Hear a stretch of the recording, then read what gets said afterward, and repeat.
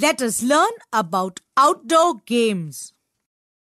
Outdoor games are played outside the house. Kho is a tag player game played between 12 players. Kabaddi is a sport which began in India. Cricket is a bat and ball game with two teams. Football is a ball game where players kick a ball to score a goal.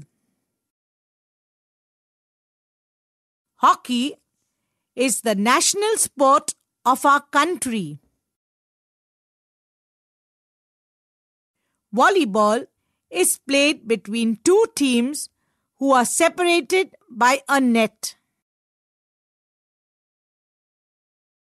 Answer the following questions. Which is our national sport? Hockey is our national sport. What are outdoor games? Games which are played outside the house are called outdoor games. Name any four outdoor games.